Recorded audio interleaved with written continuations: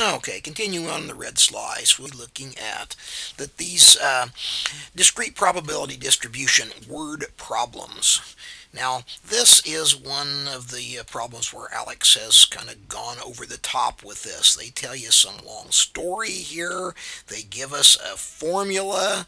Man, they make this seem intimidating. Now, let me tell you first of all that this is not as bad as it looks. And my advice to you here is uh, on this one. Don't read it, okay? Don't read it.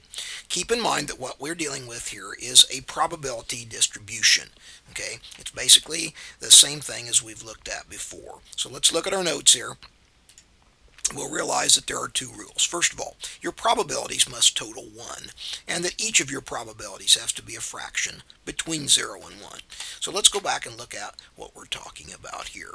Now, in order to come up with your values of that go in this column, what we do is we simply go back up here, and I just start across this, and I say, okay, what's the first thing you see here? And you say, hey, I see a negative 1. Quick, write that down. Put a negative 1 right here. Okay.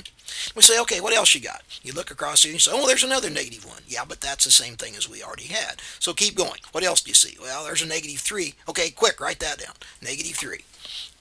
Okay, what else you got? Negative 1. Already got it. Negative 3. Got it. In fact, we got everything. In fact, there's only these two.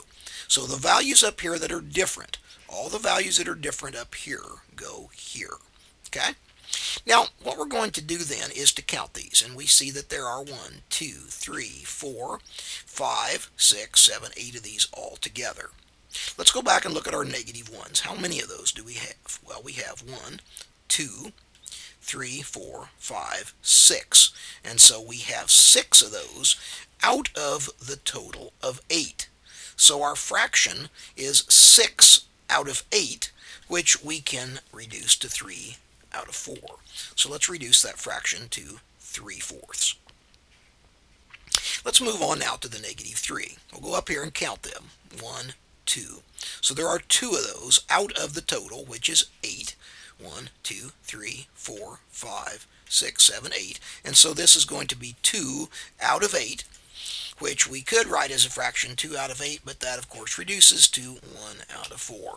And our probability distribution is complete because notice now that our probabilities add up to 1. These numbers here total 1, and each of these numbers is between 0 and 1. Each of these are fractions.